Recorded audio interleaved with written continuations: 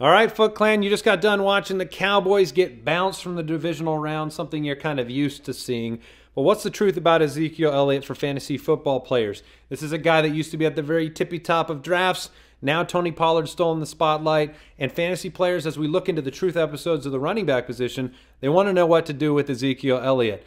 He's a very interesting situation for fantasy managers next year because he finished at 19 at the position. That's not impressive but he was still inside the top 10 when it comes to consistency. He had a lower bust rate than Josh Jacobs and Saquon Barkley. What are you going to do with him next year? Is his time ending in Dallas, or are you going to take a chance based on the fact he was more consistent than people expected?